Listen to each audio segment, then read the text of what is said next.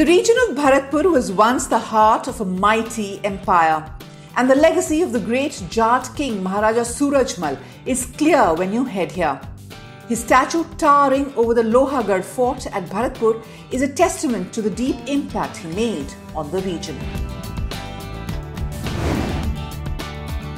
As the Mughal power declined in the 18th century, Maharaja Surajmal transformed the Jats into one of the most formidable fighting forces in India. In 1733, he conquered a small mud fortress of Sohgarh and built it into the Lohagarh or the Fort of Iron.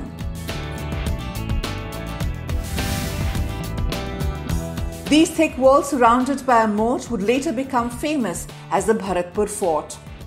Inside, Maharaja Surajmal built magnificent palaces, including the Kishori Mahal, named after his famous queen, Rani Kishori.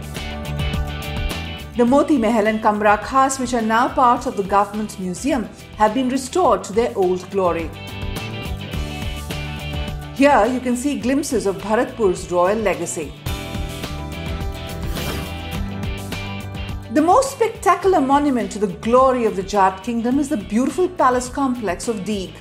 At the original capital of the Jats, located around 35 kilometers from Bharatpur city.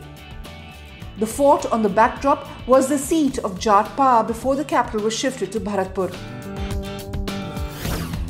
The glorious Deeg Palace, with its vast lawns and buildings, was built to serve as a summer retreat of the Maharajas of Bharatpur.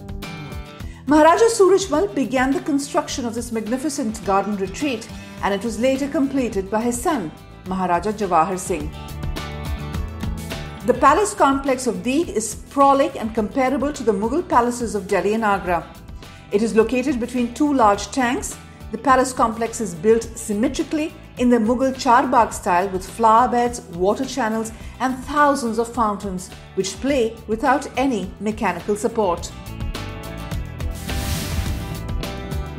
The most famous palace in the complex is the Gopal Bhavan, flanked by two pavilions.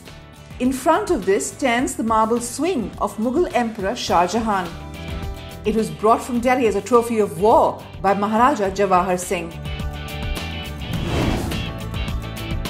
The Deeg Palace is steeped in history and stories from the time when this was the heart of an empire. But while you're there, and if you want to take a break from history, don't forget to pay a visit to the town of Nagar near Deeg.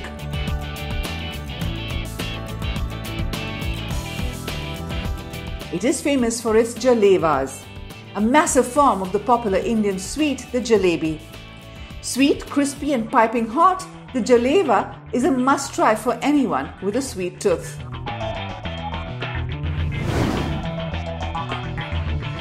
Visit Bharatpur and Deeg and you will be introduced to a whole era of Indian history.